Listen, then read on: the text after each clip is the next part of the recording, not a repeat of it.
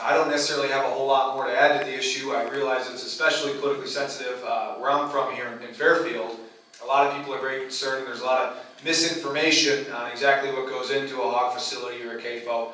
Uh, But I mean, like everything, my philosophy is that the the more local we can keep control, the better off we all all will be. Uh, The local authorities, the county supervisors, they're the ones who know their their neighbors, they're the ones who know their communities. Uh, every single instance, I think they're going to be better uh, suited to make the decisions uh, than a state board. So I'm in favor of local control. The siting of, of rural livestock, uh, locations, I think is a very, very politically sensitive issue. We, right now, we've got one size fits all. Traditionally, we don't like that kind of thing.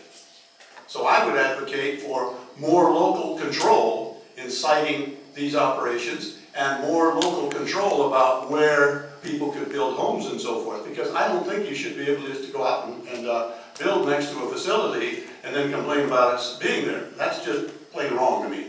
So I think there needs to be more local control, and supervisors and county officials, the supervisors, normally have the best idea about these, these things. So local control is an issue that I would really favor in this situation. I don't think one one uh, size fits all. It's not going to do it in our watersheds, it's not going to do it in other things, why should it do it in this area?